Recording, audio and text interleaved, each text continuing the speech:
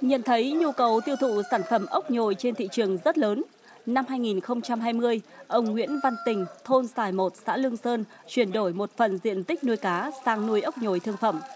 Với việc chủ động gây con giống và nắm chắc các kỹ thuật nuôi đã mang về cho gia đình ông nguồn thu ổn định. Gia đình tôi thì cũng ờ, đã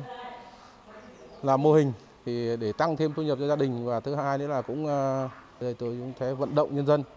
để tạo thêm cái mô hình nó rộng lớn hơn nữa để tăng thêm thu nhập trong các hộ dân trong tới đây. Việc đưa các loại cây trồng vật nuôi mới vào sản xuất đã giúp bà con trong thôn thêm nguồn thu, phát triển kinh tế. Những ngôi nhà, những con đường ngập tràn sắc hoa đang dần hiện hữu. Tuyến đường điện chiếu sáng dài gần 4 km có sự ủng hộ rất lớn của bà con. Kết thúc năm 2021, Sài 1 là một trong bốn thôn của Bảo Yên được công nhận thôn nông thôn mới kiểu mẫu. Chúng tôi cũng xác định là thôn Sài Một sẽ là thôn kiểu mẫu. Chính vì thế thường xuyên tổ chức à, các à, chương trình để các thôn à, khác đến để học tập tại thôn Sài Một và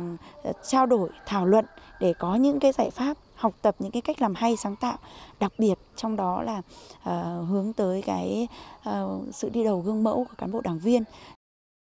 còn tại thôn Chu Liền Trải, xã Quan Hồ Thần, huyện Simacai, khi được xã lựa chọn xây dựng thôn kiểu mẫu, mỗi người dân nhận thấy trách nhiệm của mình, nỗ lực đoàn kết sáng tạo trong thực hiện các tiêu chí, đặc biệt là tích cực chuyển đổi cơ cấu cây trồng vật nuôi. Do vậy, đời sống của 145 hộ dân khởi sắc, thu nhập hơn 30 triệu đồng một người một năm.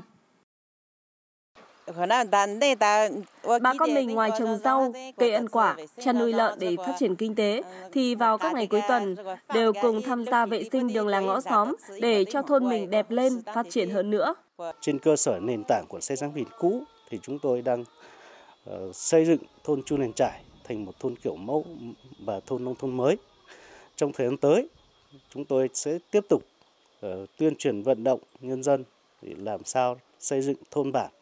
À, sạch sẽ rồi thì thực hiện các cái nếp sống văn hóa của người đồng bào dân tộc Mông cũng như là các cái à, phong tục tập quán tốt đẹp của địa phương. Xây dựng thôn kiểu mẫu đã và đang thay đổi nhận thức của nhân dân vùng cao, đảm bảo nông thôn mới thực chất và bền vững.